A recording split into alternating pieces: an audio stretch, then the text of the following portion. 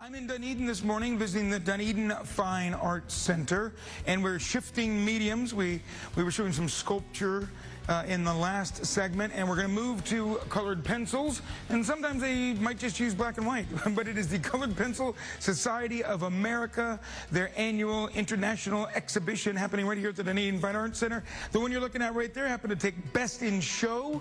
Absolutely amazing. I'm impressed by this one here, too, with the feet in the water. It's so hard to draw water and make it look so real. Stick around, everybody. We will introduce you to an artist who is not only in the show and took home an award, but will teach you how to do this when Good Day Tampa Bay continues. Good day, Tampa Bay. Happy Monday to you. I'm Charley Belcher in Dunedin, visiting the, Dunedin Fine Arts Center where there's always something going on here. Classes, great exhibits, summer camps winding up now as well. And we're talking about this latest exhibit, which is the Colored Pencil Society of America, their international show, which has literally been around the world. And for the first time ever, the show is right here at the Dunedin Fine Arts Center. I want you to meet Melissa Miller Nece, who happens to be a part of the Colored Pencil Society of America.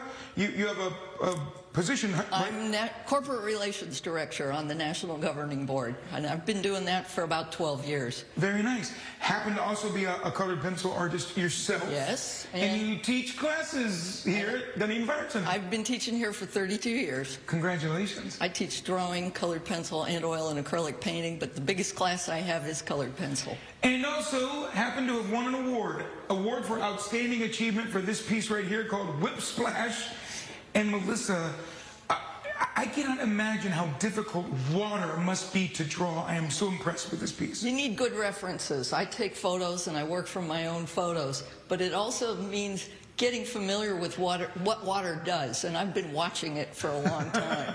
So I have a feel for how it flows and how it whips around and goes in ropes and veils and all kinds of sheets, yeah. the way it moves. And while you certainly can be abstract with colored pencil, so many are so realistic, like almost photorealism. It's, it's a medium that appeals to people who are really into detail because it's a small point that you're working with. I do miniatures in colored pencil too. It's great for that. But I also like working big, as you can see yeah. here, many artists do. What, I was going to say, what is the draw? Pardon the pun. Yeah. Uh, why do you love colored pencil instead of chalk or paint or any other form? It's very clean. It's very easy to work with. You can learn a lot of techniques that make it faster and easier to cover large areas. It's um, one of the least expensive color mediums you can get into. You don't need anything special, just a good surface and some pencils and a good sharpener. And can you truly teach anyone how to do this, Melissa? I've been teaching here for 32 years. I've got a great class. Actually, the one with the shoes that's next to mine, that she was a student of mine for a while. Wow.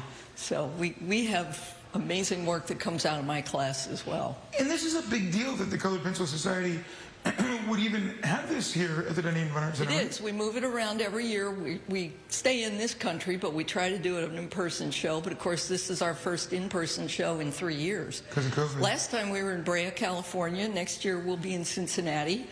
The year after wow. that, I think we're going to uh, Brea again because wow. they love us there.